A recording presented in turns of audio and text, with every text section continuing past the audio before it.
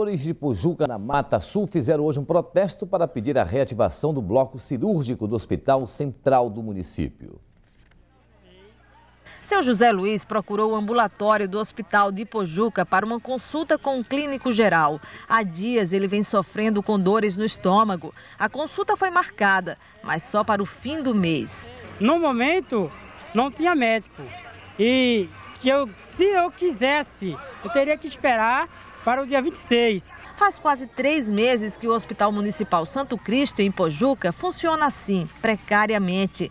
A população só dispõe do ambulatório e da emergência. Os outros serviços estão parados. Desde o ano passado, os serviços de cirurgia e internação do hospital estão suspensos, segundo a Secretaria de Saúde de Pojuca, por falta de condições técnicas. Esses dois setores não estavam cumprindo as normas estabelecidas pelo Ministério da Saúde e Vigilância Sanitária. Na pediatria, todos os 25 leitos estão desocupados. O bloco cirúrgico foi transformado em sala de parto. A situação do hospital foi motivo de um protesto hoje em Pojuca. Estudantes, donas de casa, comerciantes e agricultores fizeram uma passeata para reclamar da suspensão do atendimento. Queremos a volta do Hospital Geral da cidade e que ele funcione em plena atividade e que dê condições melhores no que se trata a questão da saúde do nosso povo. Segundo o secretário de Saúde da cidade, a prefeitura está gastando 100 mil reais numa reforma no hospital. Mesmo assim, os moradores não vão ter de volta os serviços que foram suspensos. A prefeitura está gastando 100 mil reais na reforma desse hospital. Por que não recuperar também o bloco cirúrgico, que é de extrema importância para a cidade? Não há condições físicas no espaço do hospital para que a gente possa cumprir as exigências das normas técnicas do Ministério da Saúde. O bloco cirúrgico vai ficar fechado? Atualmente, ele permanecerá com atividades do parto normal.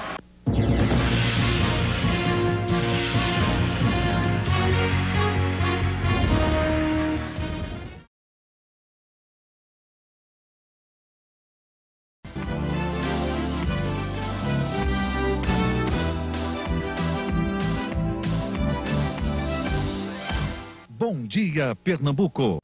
Um dos municípios que mais arrecadam impostos em Pernambuco não está oferecendo um atendimento de qualidade à população na área da saúde. A denúncia é dos moradores de Ipojuca, na região metropolitana. Os repórteres Mônica Silveira e Everaldo Silva foram ao município ver de perto a situação.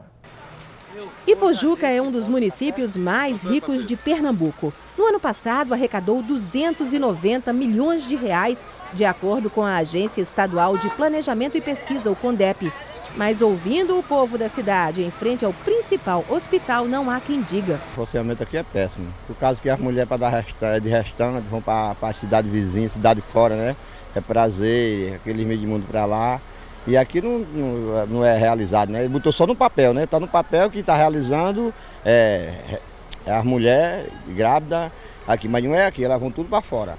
Mas por que isso acontece se no primeiro andar do Hospital Santo Cristo há uma maternidade novinha e equipada, de acordo com a Secretaria de Saúde, pronta há dois meses? Falta dinheiro para pagar os anestesistas, diz o secretário adjunto. E são profissionais que, qualificados, você não encontra com facilidade no, no, no, no mercado.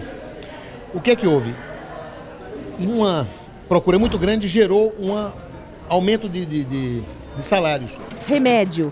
Quando estivemos no Santo Cristo com uma entrevista agendada com o secretário adjunto, a funcionária nos mostrou gavetas cheias. Mas quem procura atendimento não diz que é normalmente assim. Não tem remédio nenhum, mas quando chega aqui para ser atendido o que tem aí é de pirona. A injeção que tem aí é de pirona. A dificuldade de seu José é com os exames de sangue de que precisava com urgência. Aqui, ó, eu tenho que pagar. O médico passou novos exames e ele vai tentar fazer. Está com problemas na próstata. Vou marcar ainda para São João. São João? É, exame de sangue. O secretário adjunto, Otom Bezerra, explicou que, como a procura por exames estava muito grande, terceirizou o serviço. Segundo ele, um laboratório particular recolhe material aqui toda tarde. Nós terceirizamos. Houve nesse meio tempo um aumento muito grande, substancial, de novos pacientes e agora, para complementar esta terceirização, nós reestruturamos o nosso laboratório através de material humano, que é o básico, através de equipamentos e acredito que no máximo, no máximo, em 30 dias, nós vamos estar fazendo aproximadamente 50% da, dos exames laboratoriais da demanda do município. O espaço físico do laboratório, esse não existe por enquanto. O Hospital Santo Cristo recebe 120 pacientes na emergência todo dia, mas não tem aparelho para fazer uma radiografia. Para mostrar, só saindo do hospital. Atrás deste muro deveria funcionar a sala de raio-x. Onde está a chave do portão para a gente ir até lá? De acordo com a segurança, essa chave está nas mãos de operários de uma construtora. Contornamos o hospital para gravar estas imagens. É neste lugar que os equipamentos essenciais a um hospital de urgência deveriam estar em operação. Mas nenhum paciente deixa de ser atendido, porque nós o encaminhamos, e quando são casos graves, nós encaminhamos, inclusive através de condução da própria Secretaria de Saúde para o distrito Nossa Senhora do Ó. Então, em quanto tempo deverá haver equipamento de raio-x aqui? Acredito que aproximadamente 180 dias. A placa na frente do hospital diz que uma obra não especificada, iniciada em março passado, deveria ter ficado pronta há sete meses inaugurada, vírgula, posto em funcionamento, acredito que no máximo nos próximos 30 dias, até porque o que eu tenho consciência e o que foi, foi passado é que esse convênio deverá, no máximo, uns 15, 20 dias, duas, três semanas aproximadamente, estar formatado, assinado com a cooperativa dos anestesistas e a gente poder fazer com que as famílias de Pojucanas venham ter novamente os seus filhos dentro do município de Pojuca.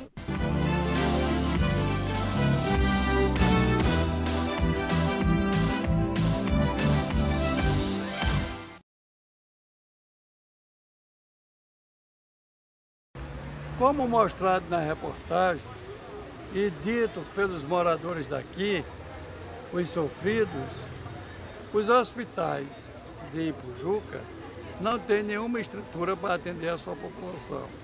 Isso que é aqui no centro, o Hospital Santo Cristo, quer seja Nossa Senhora do Ó, quer seja em Camila. Você viu aquelas obras inacabadas, nós vimos aquelas obras ali inacabadas, somente para construir aquilo ali, a Petrobras doou 7 milhões.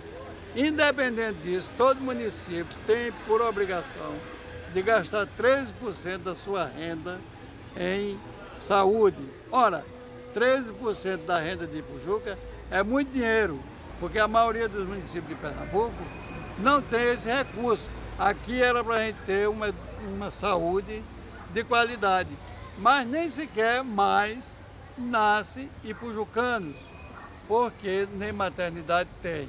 E as pessoas, quando têm qualquer enfermidade, para não morrer, tem que se deslocar para o Cabo ou para o Recife, quando isso é um grande atentado e uma grande falta de respeito à população do nosso município.